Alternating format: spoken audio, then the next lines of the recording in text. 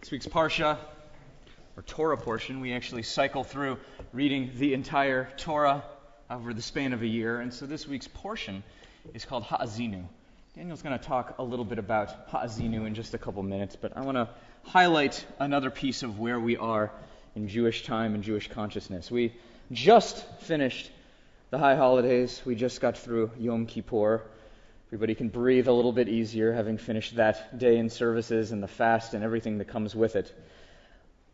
Traditionally in Torah, though, we're still in a time of celebration as we're coming up on this holiday of Sukkot. If you look out in the courtyard, you can see it out there, I think. I don't know if it's been taken down, but I think it's out there, this sukkah. It's this uh, dwelling that we have. It's traditional during this holiday to sit outside. You could have a meal out in the sukkah or even sleep outside in it. And it's an interesting impermanent, temporary dwelling that we put up this time of year. It's supposed to be covered, but not entirely. You couldn't put a tarp over the top of it, for instance, or build a uh, some kind of complete surface. It's got to be partially covered, but partially let in the air, the wind, the rain, whatever is out there in the elements.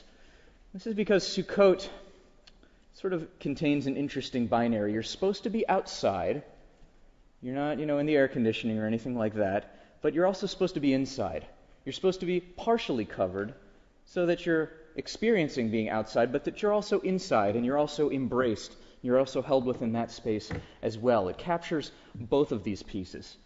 Sukkot, I think, in this way is an invitation for us to think about the ways that we are in or out.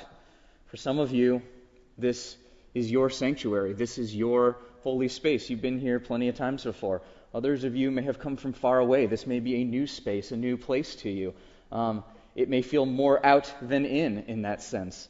And so Sukkot, I think, is a reminder for all of us to reach out, that sometimes we are all out. I think middle school is a time when it's very easy, all of these revolving social circles and times and who's in, who's out, who your friends are, that all changes.